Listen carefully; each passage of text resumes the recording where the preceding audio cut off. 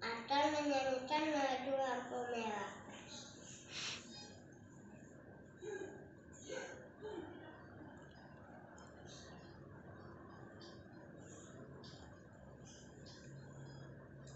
What is this?